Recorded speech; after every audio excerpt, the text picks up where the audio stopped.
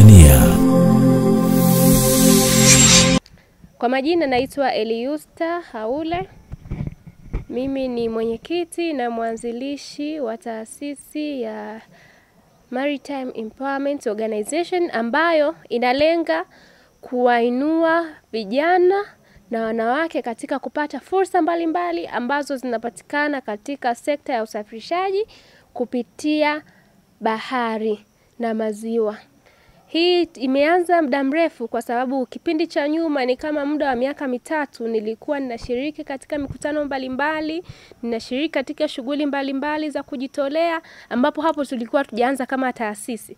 Lakini baadaye ilivyofika mwaka jana mwezi wa kumi na mbili ndipo tukapata usajili rasmi, na hapo tukawa na baadhi ya vijana wanajitolea katika taasisi, lakini pia tumekuwa tunafanya uwezeshaji kuwapa vijana elimu, lakini kuwapa fursa pale tunapokuwa tunapata fursa ambazo zinahusiana na mambo ya ubaharia. Labda ni, niseme tu kwamba kuanzisha taasisi sio mpaka anzishe mzee au anzishe mtu mstaafu, hapana, lakini inahitaji tu kuwa na moyo wa utayari kufanya mabadiliko, sio kufanya mabadiliko, kuwa sehemu ya badiliko ambalo unataka kuliona katika jamii au katika sekta fulani. Nikiangalia katika sekta ya usafirishaji ambapo mimi ndipo nimejikita zaidi, nilitamani mimi niwe sehemu ya badiliko. Yaani kuna mambo ambayo nilitamani yatokee ya, ya, ya, ya, ya au kuna mambo ambayo nilitamani yaende katika njia ambayo mimi naiona pengine ingekuwa ni sawa zaidi. Niliona kwamba ni lazima mimi niwe sehemu ya kufanya hivyo au katika niwe katika sehemu ya kulikamilisha. Ndipo ambapo nikaamua nianzishe taasisi ambayo italenga kuwapa fursa vijana wenzangu, lakini pia kufanya project mbalimbali za kuinua wanawake, vijana, lakini pia za mazingira. Za ukiangalia katika swala zima la ubaharia lenyewe, mtu akiona anajua kuna mitazamo miwili. Mtu ukiongea baharia anajua kwamba ni lile neno tu la kihuni. Hajui kwamba hiyo ni, ni, ni fursa au ni, ni kitu ambacho mtu anakiendea darasani anasomea. Kuna watu anasoma mpaka miaka minne ili awe baharia. Hilo watu hawalitambui. Sasa ukifika katika jamii zetu za watu kama Njombe, watu wanakuwa wengi hawafahamu. Lakini pia ukiangalia katika swala la ubaharia, changamoto kubwa ambayo nilikuja niliiona, watu wanadhani kuwa baharia ni mpaka utokee Zanzibar, mpaka utokee katika mwambao labda wa bahari, Dar es Salaam, Tanga, Mtwara, lakini kumbe hapana, unaweza uka, ukatokea Mbeya, ukatokea Njombe na ukaenda kuwa baharia mzuri kabisa. Kwa nilikuwa mara nyingi nakutana na swali kwamba wewe ni baharia, unaweza kuogelea? Lakini watu hawafahamu kwamba kuwa baharia ni zaidi ya kuogelea. Mtu anaweza asifahamu vizuri kuogelea, lakini akafahamu zile mbinu za uokozi kunapokuwa na majanga mbalimbali baharini au katika meli. Kwa hiyo nilitamani vijana wafahamu kwamba fursa ya ubaharia inaweza ikamfaa yoyote, mwanamke au mwanaume. Lakini pia nilitamani kuleta mabadiliko, hasa hasa tukiangalia malengo ya ki Umoja wa Kimataifa ya kufanya mikakati ya maendeleo ambayo ni endelevu ambayo wenyewe wanaita Sustainable Development Goals. Ukiangalia zile, kuna jambo la utunzaji mazingira ambalo hili pia katika taasisi tumelizingatia. Tunatamani kufanya shughuli za usafirishaji, lakini pia kuangalia ni jinsi gani ambapo tutaangalia mazingira ambayo yatakuwa salama katika vizazi vijavyo. Kwa hiyo katika taasisi tunafanya Uh, tafiti mbalimbali mbali, lakini pia tunafanya project mbalimbali ili kuhakikisha kwamba hii shughuli za usafirishaji zinaambatana na utunzaji wa mazingira. Kwa hiyo kunakuwa kuna muda mwingine tunajihusisha katika mambo ya usafi, usa, usa, kufanya usafi. Kwa mfano kama tunaenda katika zile fukwe tunafanya usafi, lakini wakati mwingine tunakuwa tunaenda tunajishughulisha pia na shughuli, kwa mfano kama kupanda miti. Tuliungana na taasisi moja hapo ya mambo ya kilimo tukashiriki katika zoezi la kupanda miti. Kwa hiyo tunakuwa tunajishughulisha na kutoa fursa katika utunzaji wa mazingira, mambo ya usawa, yote tunakuwa tunayazingatia. Ndiyo, katika jamii zetu nyingi neno baharia linatumika linatumika vibaya, kwa sababu muda mwingine mtu ukisema baharia anaweza akadhani kwamba ni mvamizi, yani mtu kijana unaye tega tega mishe, yani unasikilizia mishe hii unasikilizia mishe hii, lakini hapana, ubaharia ni zaidi ya hapo. Kwa nini napenda sana vijana wajue kwamba ubaharia ni kitu ambacho ni cha kitaaluma, ni kitu ambacho mtu anatakiwa akifanye kwa weledi, na akishajua asiishie kujua tu, lakini ajaribu kuona kama ni namna gani ambavyo yeye anaweza akawa baharia, kama anapenda kuwa baharia, asiishiwe tu kutaka kuitwa baharia. Hapana, kama unataka kuwa baharia, basi kuwa baharia kamili, vaa magwanda kweli yale ya kibaharia, nenda baharini, lakini usiwe tu ni mtu wa kusikilizia michongo, kwa sababu ukiwa mtu akusikizia michongo, kuna muda mwingine michongo haitiki, lakini ukishakuwa baharia, uhakika upo. Yaani ukiwa baharia baharia kweli, uhakika wa michongo kutiki muda wote ipo. Ndio maana unakuta baharia ameshazoeleka, sio mtu akukaa. Anasafiri leo yuko hapa, kesho hayupo, na ukiona yuko hapa basi tu ameamua kuwepo. Yaani kwa mfano kama mimi kuwepo labda hapa kubaki Tanzania ni kwa sababu nimeamua kuwepo, lakini ningeamua kuto kuwepo nisingekuwepo. Kwa hiyo aje katika ubaharia kwa sababu katika ukiwa katika baharia michongo ni mingi. Fursa ni nyingi, meli ni nyingi ambazo zinahitaji watu, mabaharia bado ni wachache, na ukienda katika soko la kimataifa la la mabaharia ambao wanahitaji wafanyakazi, unakuta wafanyakazi toka Afrika wanapendelewa sana, hasasa katika zile nafasi za, za chini kutokana na utendaji wao wa kazi, kutokana na weledi wao. Kwao nafasi zipo katika meli nyingi, na uzuri wa kazi ya ubaharia unapata nafasi ya kuzunguka, kuiona dunia eh, unalipwa dola. Kuna wengine hatujaishika dola taka tunazaliwa, lakini ukipata katika nafasi ya ubaharia unalipwa kwa mfumo wa dola, unashika dola mm? lakini pia unapata kuona exposure, unapata exposure, unaangalia watu wengine wanaishije, kwa sababu unaweza ukasema kwamba unakaa hapa pengine na mke umpate Njombe, lakini ah, pengine Mungu wako alise, Mungu alisema kwamba mke wako yuko Marekani, wewe unatafuta Njombe. Kwa ukiwa baharia vitu kama hivyo vinadhani vinakuwa vina vinaji set out humo humo ndani. Ukiwa baharia, ubaharia umegawanyika katika makundi mawili ambapo kwanza kabisa kuna ubaharia wa ufundi mitambo ambao tunaita engineering, lakini kuna ubaharia wa uendeshaji ambao hao tunaita mambo ya transport and nautical science. Umeona? Lakini sasa ukishakuwa katika mambo ya, ya uendeshaji, maanake wewe unakuwa unadili na uendeshaji meli kuangalia chombo kiko usalama wa chombo, uendeshaji kutoka sehemu moja kwenda sehemu nyingine na shughuli zinazoendana na hizo. Lakini ukishakuwa labda fundi mitambo engineering, wewe unadili na mambo ya kuangalia engine ili iwe salama, maintenance ya vifaa vyote ambavyo labda vifaa vya mawasiliano, vifaa vya usalama na vifaa vingine ambavyo viko katika meli. Lakini sasa kuwa baharia, mtu anaweza akazani kwamba ni muda wote lazima uwe baharini. Hapana, muda mwingine unaweza ukaa nchi kavu. Kwa mfano unakuta kuna mwanamke labda ni baharia, lakini ameajiliwa labda akapata mambo ya ujauzito.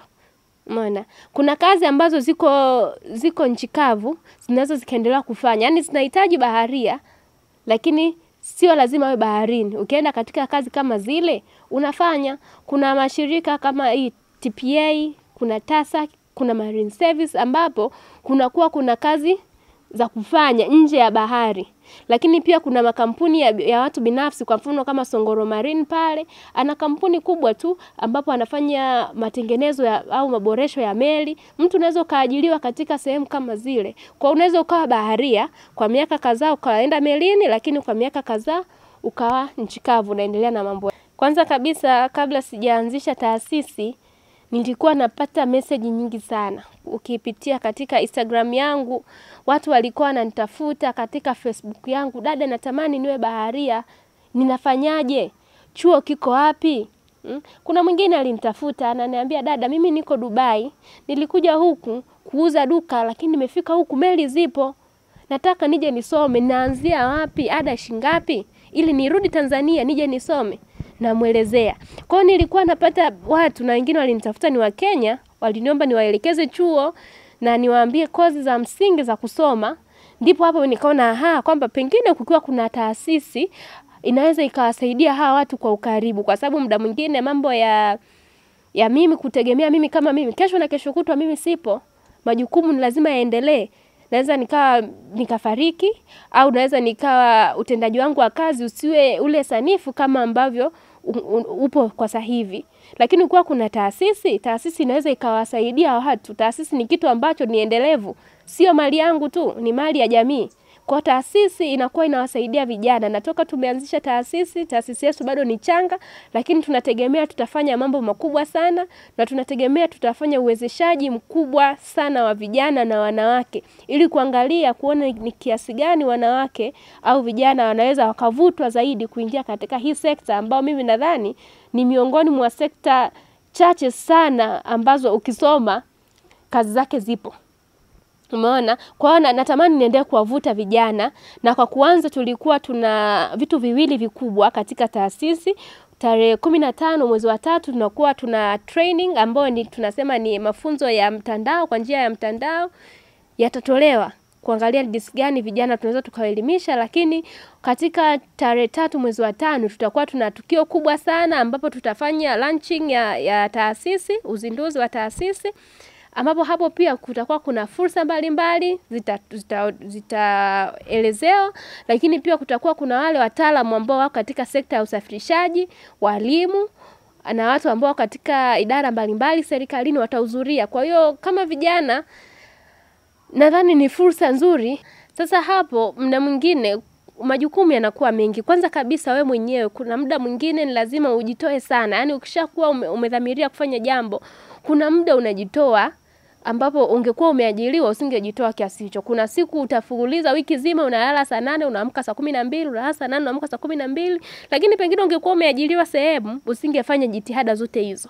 Kwa hiyo hilo ni jambo la kwanza ambalo mimi binafsi sioni ni shida, kwa sababu nilikuwa nilishaamua kulivulia nguo kwao, naona tu acha niyaoge maji, haijalishi ni ya moto kiasi gani. Lakini mda mwingine ni mtazamo wa watu. Mtu akishaona kwamba ni taasisi, anaona kwamba tayari kwamba taasisi tayari ina kila kitu, watu wanataka hela, umeona, lakini hajui kwamba taasisi na yenyewe inakuwa. Mtu unaweza usi, usiweze kumpa msaada wa pesa, lakini ukampa msaada wa ma, mawazo, ukampa msaada wa fursa, kwa sababu kuna fursa, unaweza ukapata fursa ya kazi, lakini mimi siwezi fanya. Naweza nikaita vijana, vijana wakaenda wakapata ile fursa, ule ni msaada. Lakini mtu akishaona kwamba taasisi, anajua kwamba pale nipate hela Umeona? Na vijana wengi wa Kitanzania tupo na hii. Tukipata hela tunafikiria kuipeleka mdomoni. Ni vijana wachache sana wanafikiria masuala ya uwezeshaji. Umeona? Yaani hatuna ile jambo la kusema kwamba hii hela iende ikazalishe na hela nyingine. Kwa hiyo mtu anavyoiona taasisi anaona kama ni sehemu ya kwenda kuji, kujiegesha lakini haoni kama ni sehemu ya kwenda labda inaweza ikamsaidia kutimiza malengo yake kutoka sehemu moja kwenda sehemu nyingine. Lakini pia kitu ambacho mimi nimekuwa nimekiona kama ambavyo ulikuwa uliniuliza, ukiwa katika umri huu, mtu anaweza akakuona kwa udogo, akaona kwa hata kitu unachokifanya hakina umuhimu, kwa sababu mtu anaanza taasisi imeanzishwa na vijana. Mtu anaona ah, yani haipi uzito kwa sababu mtu akisikia kwamba mstaafu, kwa mfano leo tunasikia mstaafu wa wapi, mstaafu wa serikalini ameanzisha taasisi, mtu ataipa uzito, umeona. Lakini akishasikia kwamba kuna watoto hawa wameanzishwa au kuna vijana hawa wameshirikiana wameanzisha hiki kitu, anakuwa hakipi muda mwingine uzito ambao ule unatakiwa. Kwa hiyo mimi natamani kwamba ifike wakati, haijalishi jambo liwe limefanywa na mzee, liwe limefanywa na mwanamke, liwe limefanywa na kijana, kama ni jambo ambalo linaleta maendeleo katika jamii, tushirikiane. Kama ni jambo ambalo linajenga, ni jambo chanya katika jamii, tulifanye kwa umoja bila kuangalia hizi bila kufanya baguzi ya miaka, bila kufanya baguzi ya, ya, ya dini, bila kufanya baguzi hii ya, ya jinsia. Yaani tufikie wakati tuone kwamba ni sawa kwa jambo la maendeleo kutoka kwa yoyote. Mimi huwa napenda sana kujifunza na nadhani hata kuna mambo mengine huwa nakaa namwangalia mdogo wangu najifunza, nasema aha, sikutakiwa kufanya hivi. Umeona? Kwa hiyo mimi natamani hata wale watu wazima wapende kujifunza kwa watoto na watoto watajifunza kwa watu wazima, kwa sababu kila siku ni siku ya kujifunza, kila siku ni siku ya kufanya mambo yawe bora zaidi. Kwa hiyo tusichoke kujifunza na tusichoke kushikilia ile kweli. Ikiwa kuna mtu anaona kwamba kuna sehemu anaweza akafanya badiliko, kuna sehemu anaweza akawa sehemu ya badiliko, basi awe sehemu ya badiliko, afanye hilo jambo. Mimi natamani vijana waonekane kwa sura ya kipekee. Kwanza mimi nikiwaona vijana huwa nawaona kwa sura ya kipekee sana, kwa sababu mtu anaweza akasema kwamba vijana hawana ha, ha, ha, hawana kazi, vijana wamelelemaa, labda hawajitumi, lakini vijana wenyewe wanajitoa sana. Muda mwingine mtu anakuja na majibu mepesi katika mambo magumu. Muda mwingine mtu anakuja na, na, na kutoa hitimisho nyepesi kwenye mambo ambayo yanagusa maslahi ya watu. Mimi ni kijana na nina nimezungukwa na vijana wenzangu, marafiki zangu ni vijana. Ninaona jinsi gani vijana wanajibana kufanya maisha. Ninaona jinsi gani vijana wanakuwa na uchungu wa kuleta kupiga hatua za binafsi katika maendeleo yao. Ninaona jinsi gani vijana wanapata msongo wa mawazo kwa, wakiona mambo yao hayaendi. Kwa mtu akija akasema kwamba vijana hawafanyi jambo lolote, mimi nadhani anakosea, kwa sababu ukiangalia katika nchi yoyote, ili nchi iwe na maendeleo aidha ya kiuchumi, kisiasa, kijamii, inahitaji kutumia vijana. Kwa mimi yani, kabla hatujaamua kuwalaumu vijana, inatakiwa kama jamii tuone ni jinsi gani tunawapa fursa vijana, ni jinsi gani tunawaongoza vijana na kuwasaidia vijana, ili hawa vijana ambao ni taifa la leo waweze kushika nyadhifa mbalimbali, waweze kujiamini katika kufanya mambo mbalimbali. mbali. Lakini tukiendelea kutoa lawama baada ya kuwa sehemu ya suluhu, hilo ni changamoto. Kwa watu ambao wanapenda kutoa lawama kwa vijana, mimi naomba kwanza wabadilishe mtazamo, kwa sababu kijana anapambana sana. Kwa hiyo hata ukiwa unapambana alafu unakuta na jamii na yenyewe inakusakama, inakupa lawama, unakata tamaa.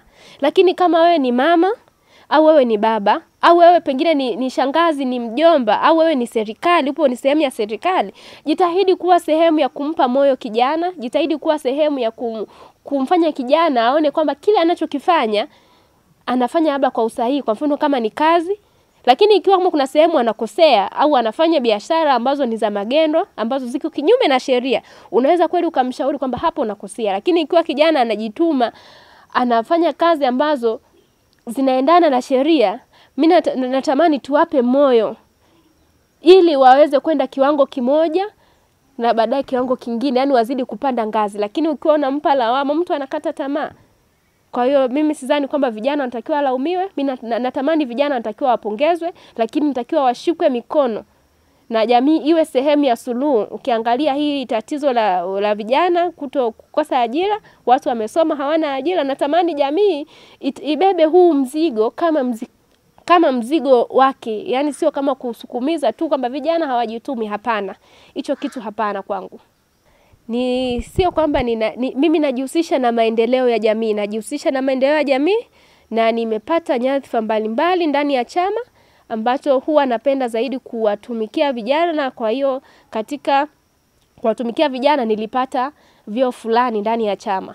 Chama tawala, Chama cha Mapinduzi, chama namba moja. Kwanza kabisa kulikuwa kuna mwana filo, philosophy mmoja alisema kwamba every human being is a political animal. Umeona kwamba kila mwana, kila binadamu ni, ki, ni kiumbe ambacho kinategemeana na siasa.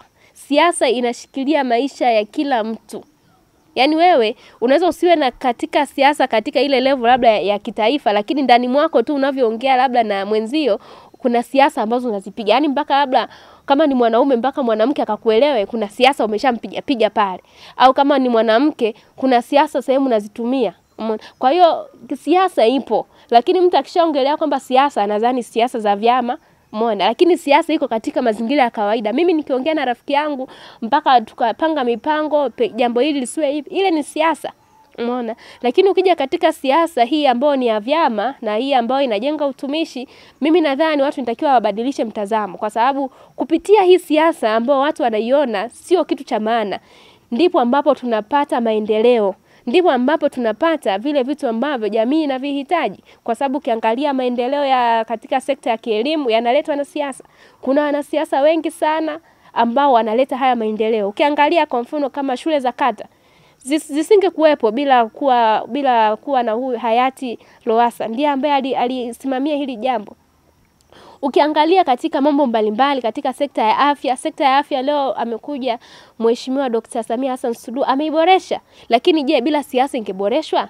Kwa hiyo siasa ni, mu, ni muhimili mkuu ambao mi naona unagusa maslahi ya kila mtu katika nafasi mbalimbali, aidha iwe kwa inagusa moja kwa moja au iwe inagusa katika njia ambayo sio kwa sio moja kwa moja. Kwa hiyo kama kijana unataka kushiriki katika siasa, ni vema ukashiriki, kwa sababu huwezi ukajitoa, kwa sababu wewe tayari ni binadamu. Binadamu yoyote, mwananchi yoyote tayari ni sehemu ya siasa. Kwa kama unataka kushiriki siasa, shiriki, lakini huwezi ukasema utaki kushiriki siasa, hilo jambo mimi nadhani haliwezekani, kwa sababu wewe tu maisha yako yanaendeshwa na siasa. Ya, mimi na, na, na, natamani vijana wagombee nafasi mbalimbali katika siasa, lakini pia katika huu uchaguzi wa serikali za mitaa, lakini pia katika uchaguzi wa serikali kuu, kwa sababu kama kijana anataka kuwa sehemu ya, ya badiliko, kwa nini asiwe kiongozi? Kwa sababu huwezi kuwa kiongozi kama huta, huna mabadiliko ya kuyaleta katika jamii. Tuna tunatamani watu wengi ambao ni vijana wanakuwa na na, na, na, na, na, ndoto, wanakuwa na mambo mengi mema ambayo wanataka wayafanye, lakini tayari wakishafikiria swala la, la, la, la siasa wanavunjika moyo. Mimi niko hapa kuwatia moyo watu wenye nia mbalimbali, na ninatamani kwamba watambue kwamba kila kitu kinawezekana. Inaweza ikashindikana mwaka huu, lakini mwakani ikawezekana. Kwa hiyo walenge kuwa sehemu ya mabadiliko. Kama kuna jambo ambalo unataka kulifanya lifanye. Na mara nyingi huwa napenda kusema, unavyochukua nafasi ya kuwa kiongozi, uchukue na yale majukumu, usichukue tu kutaka kupata zile pesa au kupata zile faida ambazo zinakuja na wewe kuwa kiongozi, ila uwe tayari kutumika kwa ajili ya wananchi ambao wamekuchagua. Uwe tayari kufanya kazi ya kile ya ile nafasi ambayo unaitaka. Kwa kama mtu uko tayari kufanya kazi katika nafasi hiyo unayoitaka, lakini upo tayari kufanya kazi kwa maslahi mapana ya wananchi, chukua. Hapo ndipo ukishaangalia maslahi ya wananchi, ndipo angalia na maslahi yako, kwa sababu tunasema mfanyie hekaluni anakula hekaluni. Kwa hiyo nadhani ni vyema zaidi kuangalia maslahi ya, ya watu waliokuchagua, lakini pia hata ukiangalia maslahi yako pia inakuwa sio mbaya.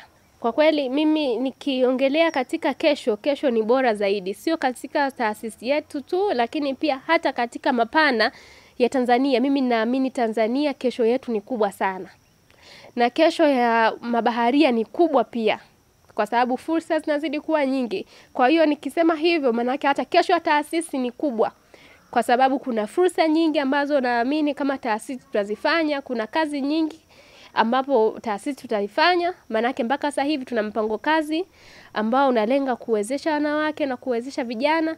Kwa hiyo na, na, natamani na nina imani kwamba kesho ya taasisi itakuwa ni bora zaidi, na niko hapo kukwambia kwamba kama wewe ni mtazamaji unatamani kuwa kuwezeshwa na taasisi yetu unakaribishwa. Unatamani kuwa baharia, unakaribishwa. Unatamani kujifunza upate ABC za ubaharia, pia unakaribishwa. Kwa hiyo kesho yetu pamoja na kesho yako yote tunaiboresha inakuwa bora zaidi.